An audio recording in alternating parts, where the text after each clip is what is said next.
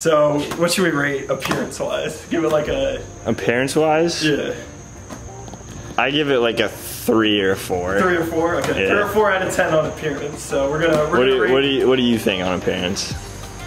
um, I'm gonna take your word for it because I think it like it's It just not- doesn't it doesn't have a whole lot going on. It just got. But like if I'm gonna get made fun of, yeah, I Yeah. think I think I'm gonna give it a three. So we'll, we'll give we'll give it three out of ten on appearance, and then uh, we'll, we'll have a few more categories throughout the video. All right, we're gonna give this ball a test. We're just gonna pass around for a little bit and uh, let you guys know uh, how it's holding up.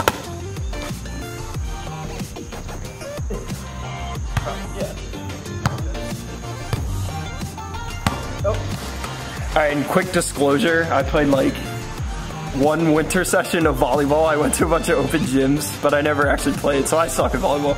I pretty much have no idea what I'm talking about, but this guy plays for D1, so he'll be the expert.